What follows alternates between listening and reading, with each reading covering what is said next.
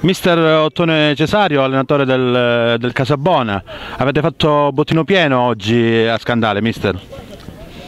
Certo, eh, abbiamo vinto una partita difficile su un campo difficile, ne siamo tutti contenti, speriamo di andare avanti su questi, su questi ritmi. Un pressing eh, asfissiante il vostro, ai, ai punti per quanto riguarda il gioco ne meritereste eh, chissà quanti, e i gol però sono arrivati sui due calci da fermo. Ma di punti ne meriteremmo tanti, ma abbiamo perso solo una partita, ne abbiamo pareggiate due. Avremmo dovuto fare un punteggio pieno. Cioè. No, ho detto di punti giocando a punti, tipo il pugilato. Se si giocasse a punti per quanto giocate in pressing, chissà però, quanti... Però noi è vero che abbiamo segnato su due palle eh, inattive, però siamo arrivati un sacco di volte. Eh, davanti al portiere, abbiamo preso un palo, una traversa, qualche parata del portiere, secondo me la, la squadra è viva, il risultato eh, tralasciando il fatto di averlo fatto su due, due palle inattive, ma mi sembra che sia più che giusto.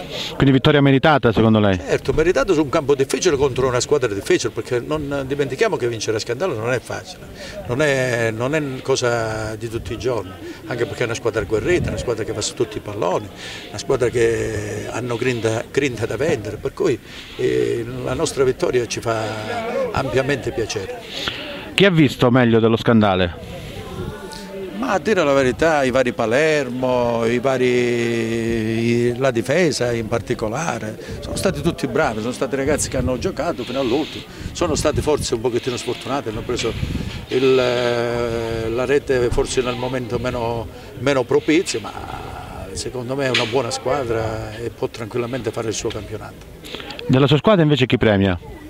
Ma io direi tutti per eh, la grinta, la, eh, l'abnegazione che hanno dato, su ragazzi che si allenano, vogliono raggiungere obiettivi. Eh, buona, in questo momento c'è una buona armonia in questa, in questa, squadra. Speriamo che le cose continuino così e poi alla fine tireremo le soldi. Ha controllato la classifica e gli altri risultati? Siete in testa? No, ma non, no, no, non credo, ma ci interessa molto. Noi siamo stati costruiti non per vincere il campionato, per fare un buon campionato. Se poi ci troviamo là alla fine, verso la fine, e poi tireremo le somme e vediamo che cosa possiamo ottenere. Domenica prossima?